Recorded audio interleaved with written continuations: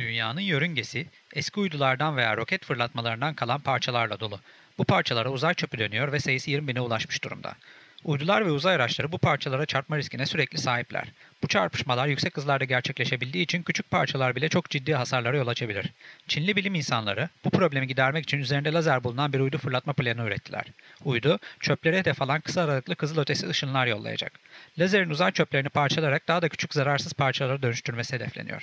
Bu sayede de dünyanın yörüngesinin uzay çöplerine arındırılması planlanıyor.